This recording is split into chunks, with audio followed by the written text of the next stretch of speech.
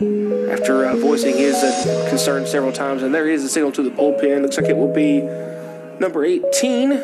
Should be Derrik Watson, the hard throwing righty for the Racers. High fastball at 96. That's the uh, hardest thrower we've seen.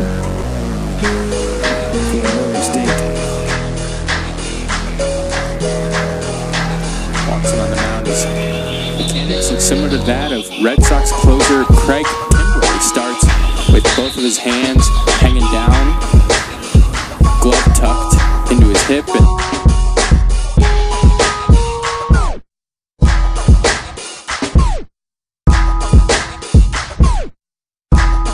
Bye.